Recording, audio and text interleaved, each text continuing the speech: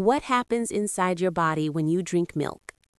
As you lift the glass, the brain, lungs, heart, stomach, and intestines all activate. Milk enters the stomach, coating the warm, moving walls as it's broken down into nutrients.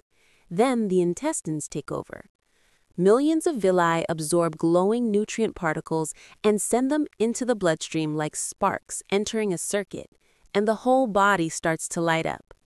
The brain fires brighter, muscles strengthen as proteins and calcium spread through the fibers. The gut glows with a balanced microbiome, and the entire body surges with energy. But not everyone reacts the same. For some, the stomach becomes irritated. The skin may show redness or swelling. Blood sugar can spike, and the body's glow may fade into fatigue. Milk can fuel you or challenge you, depending on how your system responds.